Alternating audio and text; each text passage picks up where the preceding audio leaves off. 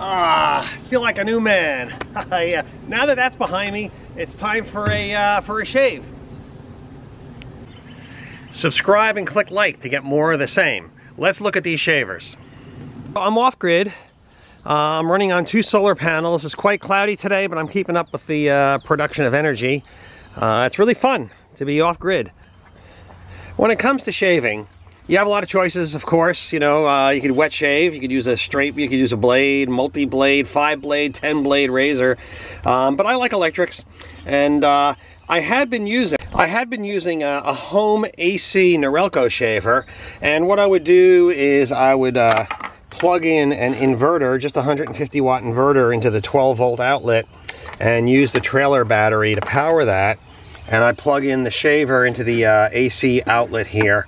Um, these things are notoriously inefficient. You're stepping up from 12 volt to 150 to 120, 112 volts. That's not free. Uh, uses a lot of 12 volt energy to do that, but you can do it. You know, it works fine. Uh, but in my case, I wanted something a little simpler, so I found these Ace, these uh, shavers, they work on double A's, um, which is pretty cool for me, because I have a lot of double A's. I'm rigged here for charging AA batteries uh, with these solar panels, I could just go on indefinitely uh, off grid. So these shavers were uh, two considerations. One is the, uh, the Norelco rotary type. It only has two blades uh, rather than the three that a home shaver would have.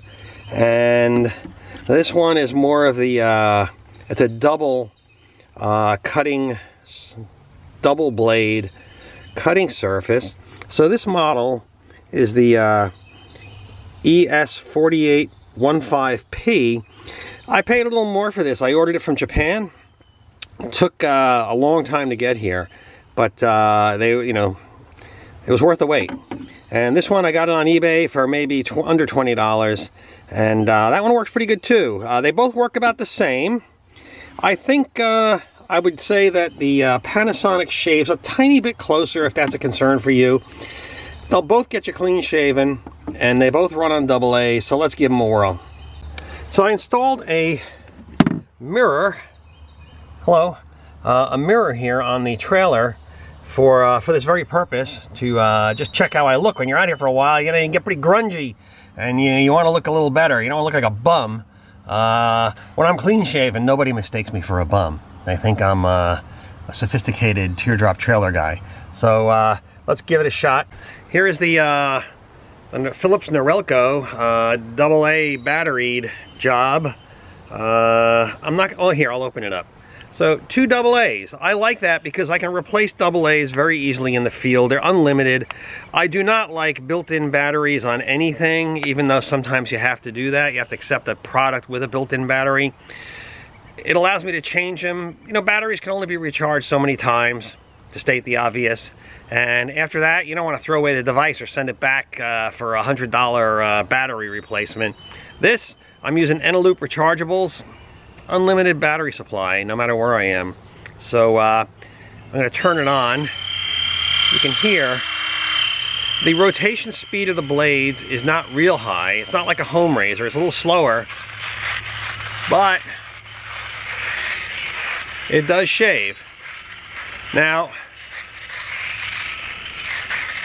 in testing this at home and out here in the field, I've noticed that with two blades, it takes a little longer to shave with this thing. You got one third less cutting. But, what's the rush? So, yeah, it's cutting pretty well. I have a medium beard. It's not a not a giant beard. You know, it's not one of these uh, big uh, Neanderthal uh, bush things. You know, thigh scraper. It's uh, good, but uh, this gives a pretty close shave.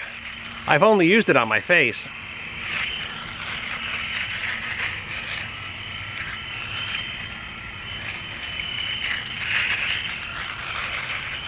Okay. So that's uh, that's pretty good. Now you have uh, this thing opens up, and there's all my shavings. Okay, so uh, you have two rotary drive shafts and you have the blades here. They come apart, if you're familiar with Norelcos, they come apart like a lot of Norelcos. It's quiet. This is a quiet shaver compared to some other ones. Uh, but it's, uh, it's pretty good. So, so I'm pretty happy with this. I mean, you can't beat the price. Comes with a little cap for it. Does not come with a case. I put it in a plastic bag to protect it. So, uh, pretty nice option. Uh, I like it better than what I was doing with the inverter. Now let's take a look at the, uh, the Panasonic. The Panasonic comes with a, uh, a, handsome velvet case uh, to take care of it, or a velvet light case. And it has a uh, plastic protector for the blades that comes off. And you have dual cutting heads. And the claim to fame on this, this foil shaver, is that it, uh, it shaves close. Now there's two AA batteries in the bottom. You, you twist this to unlock it and then you slip in two AA batteries. Again, I'm using Eneloop rechargeables and uh, they're working fine. So I'm going to turn it on. You can hear it's a little more energetic sound. These are going back and forth really fast and it's uh, not objectionably loud. It's okay. It's louder than the Relco, but not bad at all. Oh yeah, that's really trimming away, boy. What a...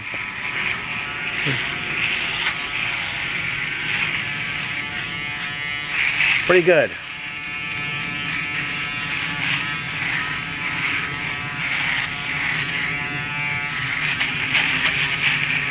You know, my face is not so irregular, so it, uh, I don't have too much problem with any kind of special shaving needs. Yeah. I, I would deem this one slightly quicker than the Relco, but again, I'm not in any hurry and it doesn't really matter. So at double the price of the Norelco, this one's uh, shaves pretty close. Now you can get a pretty close shave on this. If you've got a date or something, you know, you're meeting some other camper, this will give you a nice smooth face to rub up against, you know what I'm saying? Uh, so, um, this one, you press the, uh, the foil lid and out comes the, uh, the lid for cleaning. And that's all there is to it. A couple of quick breaths. And to put it back on, you simply put this back on and it's a pretty nice solution. Um, so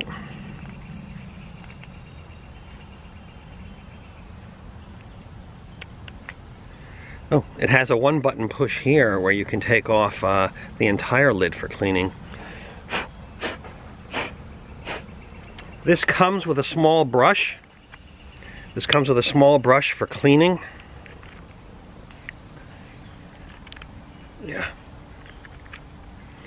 Okay, so um, there you go. It's, uh, it's pretty nice. I'll put the cap back on.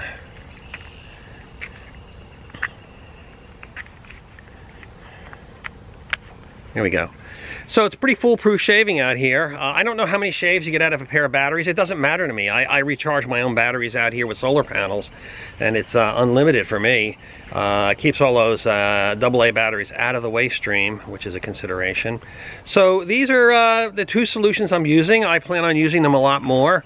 I'll probably only take one with me, and uh, it gets me closer. They do not have, neither of these shavers, Neither of these shavers has a, um, a trimmer for your sideburns or nasal hair, ear hair, wherever your hair is growing, you know, whatever else you want to shave. Uh, it doesn't have a trimmer for those. Um, I don't find that a problem. You know, I can just take out my uh, something else and trim my sideburns or whatever. I still carry a, uh, a, dis a uh, disposable razor, uh, wet razor. I don't think either of these are wet shaving, and that doesn't bother me at all. I'm a dry shaver uh, with electric. So I do carry a, uh, a, disposable razor in case I need to, uh, in case I have to use it.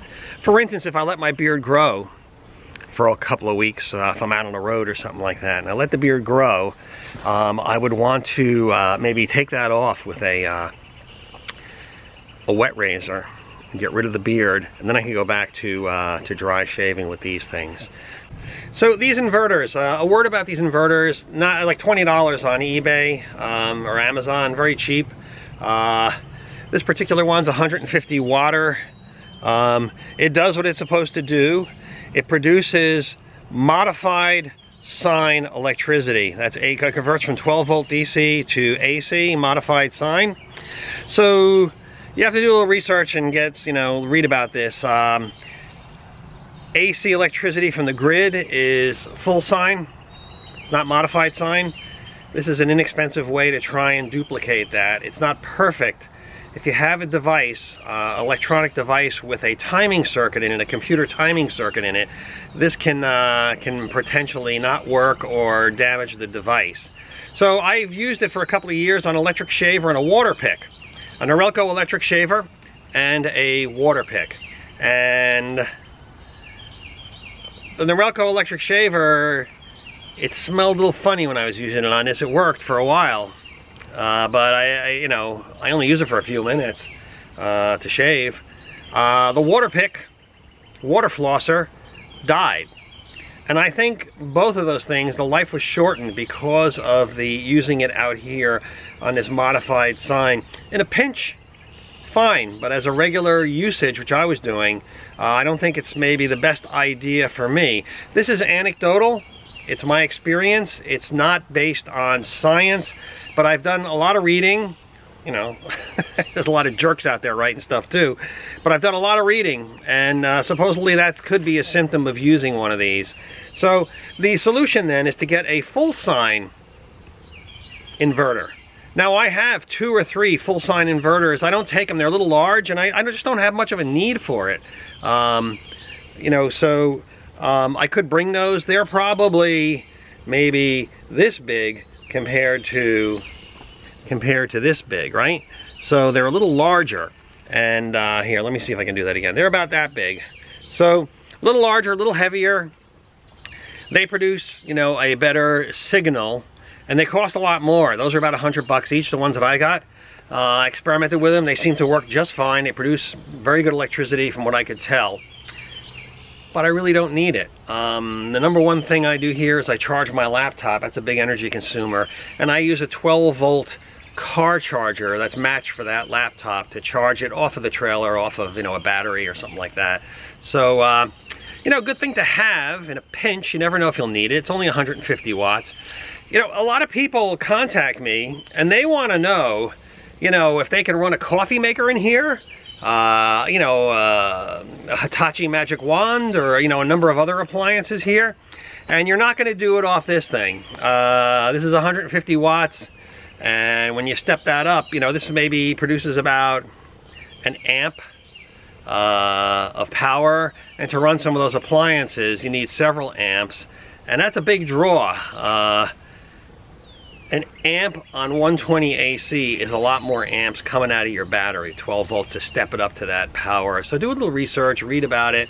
Um, you're not running a coffee maker off this battery, I'll tell you that right now. And if you do, you're not going to have much left when you're done or anything else. So uh, nothing's free.